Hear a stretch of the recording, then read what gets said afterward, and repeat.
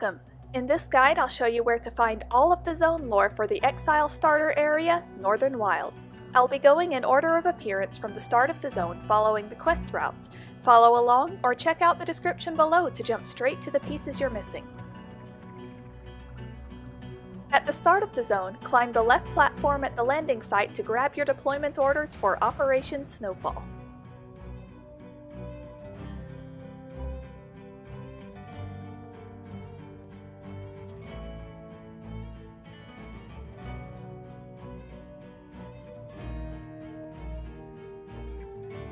Explore the wreckage in the crash site to uncover Sadie and Deadeye's shuttle boarding pass.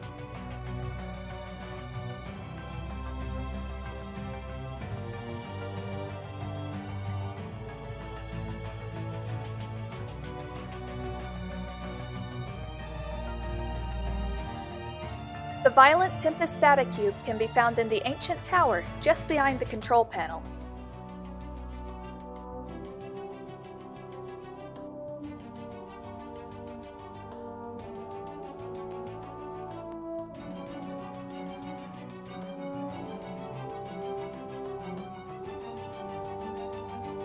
Head into Exolab 729 and check the data cube on the left to learn about the Primal Disruptor.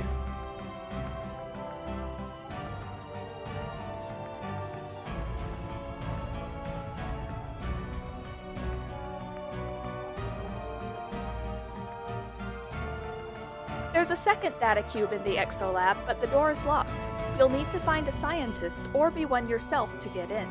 Once you do, you'll find the data cube for volatile power hovering in the center of the room. Collecting it will also grant you an achievement.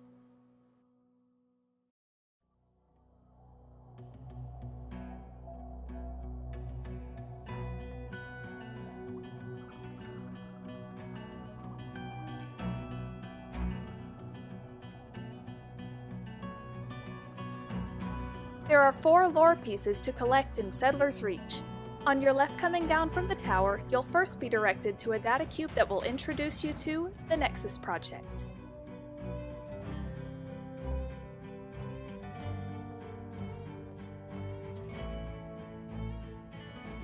Check out the book next to the Nexus Project data cube for a rundown on the Exile's not-so-secret secret ops.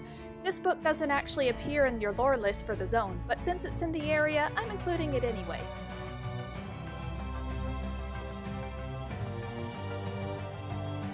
The cot next to this campfire holds your first key to the Northern Wilds copy of Tales from Beyond the Fringe.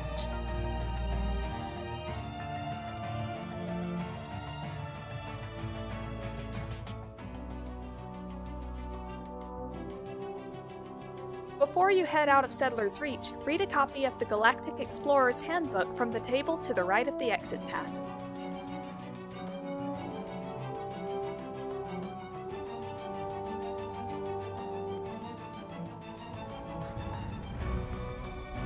Keep an eye out for a Yeti cave just north of the trail between Settler's Reach and Coldburrow Cavern.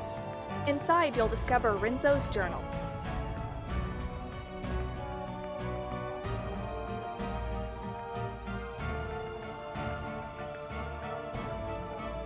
Head left as you enter Coldburrow Cavern from the main trail and you can find the first volume of Lusk's report. You may have to zap a few skeech before you can grab it.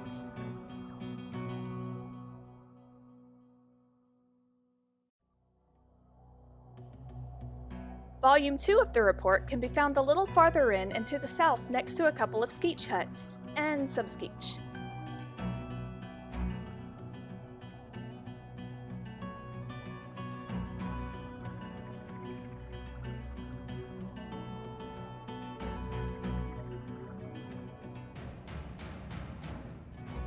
Pick up Lusk's final report by the cauldron just right of the Coldburrow Cavern cave entrance.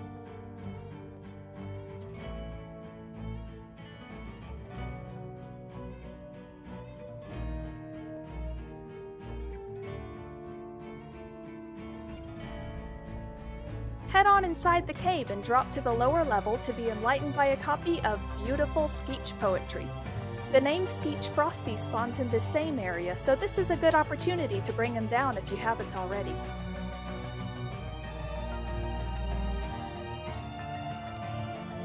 At the very back of Coldburrow Cavern, you'll find a data cube for decelerated gestation, next to a named monster and a clutch of Xenobite eggs.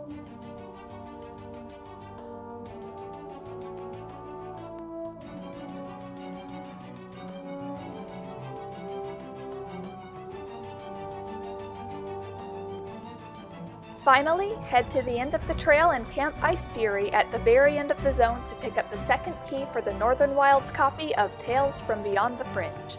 Obtaining both keys will unlock the Exile version of the issue Adventure Awaits.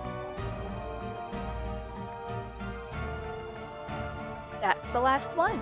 Now you have a full list of Northern Wilds lore and where to find it. See you next time!